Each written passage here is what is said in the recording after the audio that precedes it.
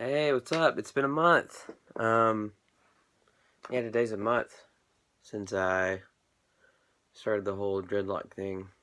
Um,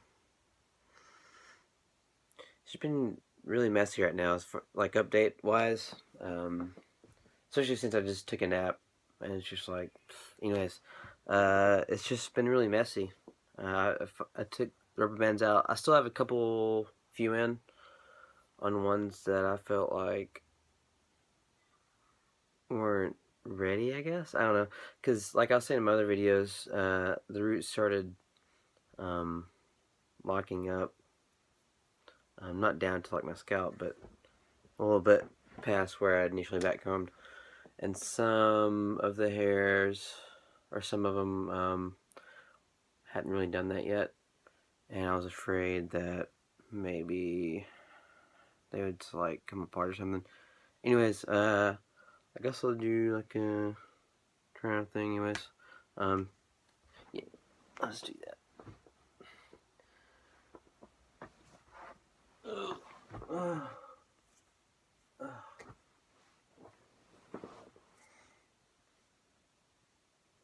Can't really see, the sliding's pretty bad. I kind of waited until it was almost dark for this video.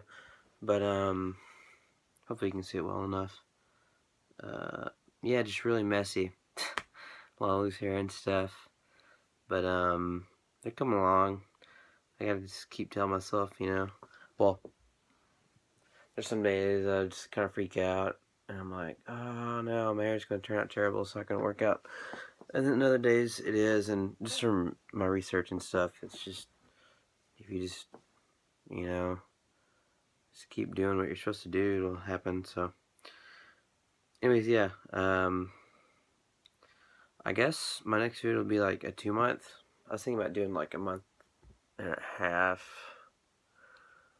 but uh, I might just do um, monthly now.